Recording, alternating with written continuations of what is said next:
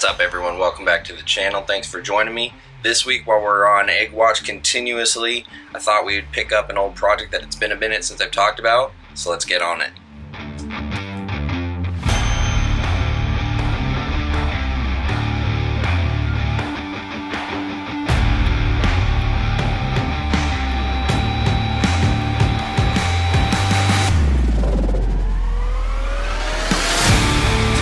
So if any of you are fans of Miguel Garcia over at AEP, you guys know that he does a lot of shed testing to prove out POS hets.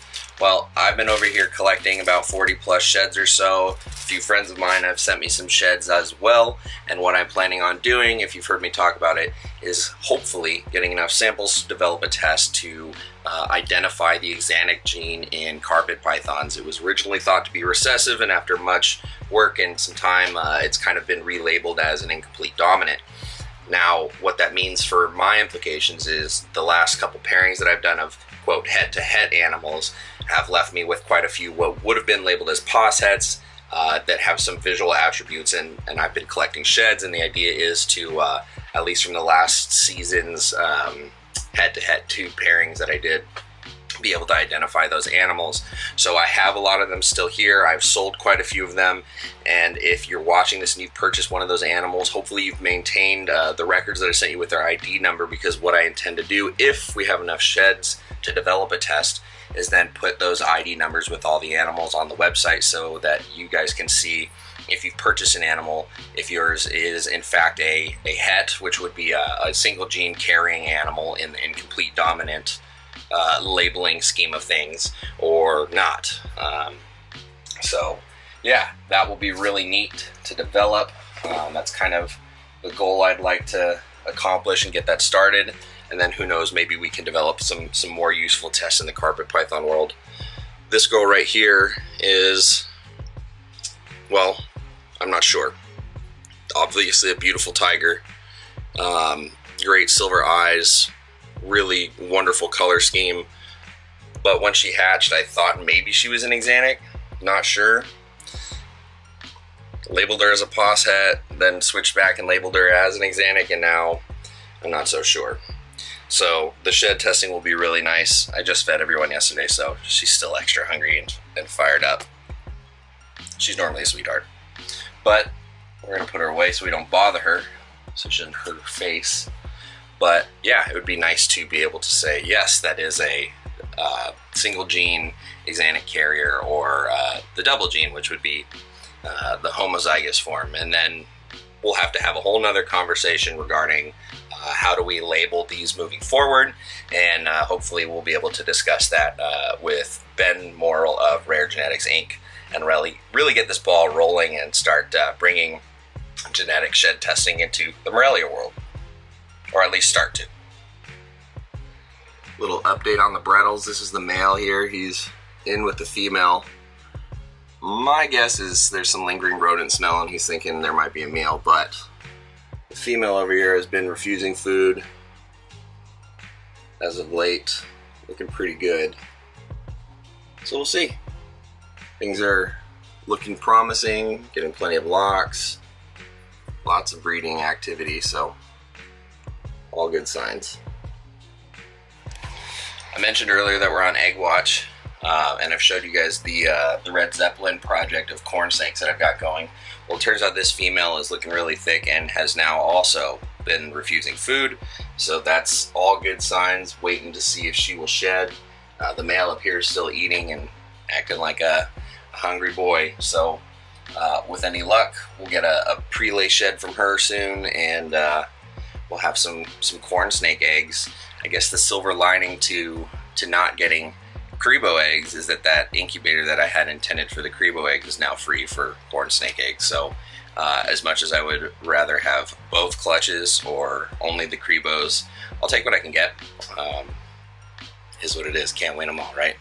So uh, on egg watch for her, uh, het-to-het axanthic carpet pairing keeping an eye on the Bredls and the Apodora are still very, very cuddly. So all things are go on on those fronts. So hopefully next time I'm picking up this camera, we'll have some more eggs, and uh, we'll just keep this good, good vibe and onward trend of uh, eggs and, and positive season you know activities going. So pick it up in a few.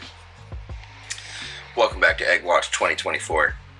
Just kidding, but seriously, it's the next morning and uh, it's a good good start to the day when you find a nice clutch of of carpet eggs, right? And this right here is my female het axanthic poplin produced by Eric Burke of EB Morelia. And she was paired with another male het axanthic. She's hiding some eggs under there.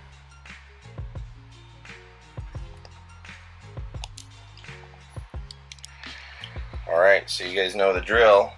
Gotta get mom off eggs, give her a once over, count the clutch, that whole deal. We'll see how she's gonna behave because she's not the friendliest snake under any circumstances.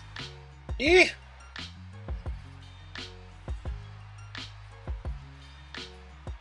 Looks like a good clutch though. Yeah.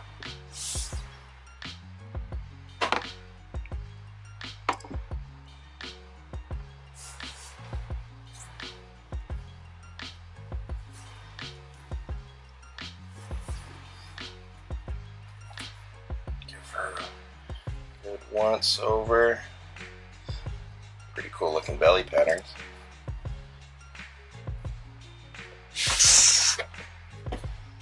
And if you guys are already ahead of me in the counting game, looks like we've got 10 perfect eggs here.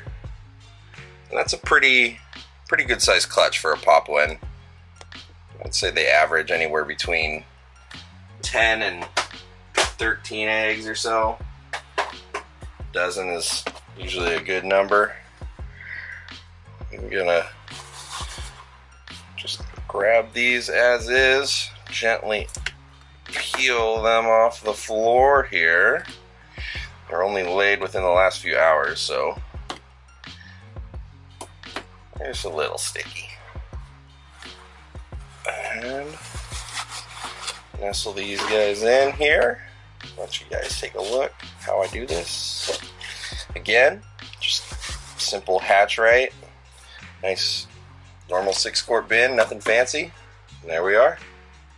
All right, and technically that is clutch number six, but as we know, only five clutches, or at least part of five clutches, will be making it into the incubator with that Crebo clutch being a wash. But uh, yeah, we're we're on the board some more. That's that's ten more eggs. We're we're cooking now. Um, I think I'm only waiting on the striped jungle female to lay based on everything that I'm seeing. That was probably the last poplin clutch for the season. I thought I was going to have a third female.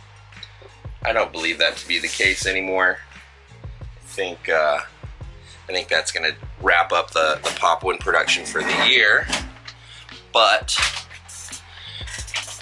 shouldn't be everything because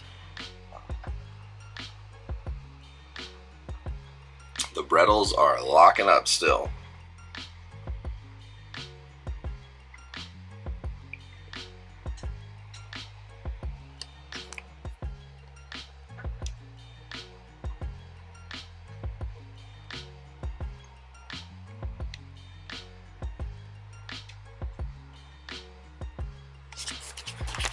So we're just gonna keep this uh, whole egg watch rolling. I'm gonna keep you guys posted with what's going on with them. The Apodora are doing exactly the same. Um, yeah, this is this is Egg Watch 2024 continued, and uh, finally shaking the bad juju off the start of the season. Got some good, healthy, perfect clutches. That's three for three. We went nearly 0 for three, and now three for three. So call that redemption. I'll take it. So.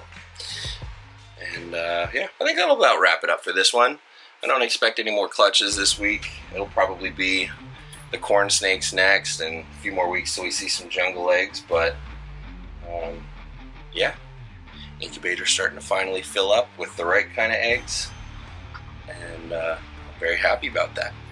I'll definitely keep you guys posted with all the Bredls, the Red Zeppelin, and Apodora updates. But uh, yeah, I'm gonna wrap up here get my day started. I gotta get that female cleaned up, cleaner bin out and uh, just get rocking and rolling. It never stops around here. So, alrighty. Well, with that, I'm to leave you guys to it. Thanks for uh, joining me on another short, short video this week uh, on the upswing with eggs and all good stuff.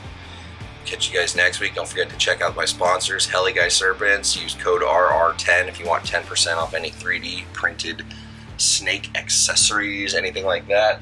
If you're doing any shipping this year, ship with Reptiles Express. Save yourself some money and use code Riley50 to save you some money on shipping labels. Trust me, save you some money. Um, don't forget to go check out USARK and USARK Florida. Become a member if you aren't. They are the legislative bodies keeping us uh, in business, doing what we can. Give them a little support. And if you want to join the Patreon family, you can look me up under Riley Jimison. Um, got a lot of cool stuff going. We got a Discord going, uh, early access to babies, monthly Zoom meetings, the whole nine. So um, check us out, join the fam, and I will catch you guys next week. Later.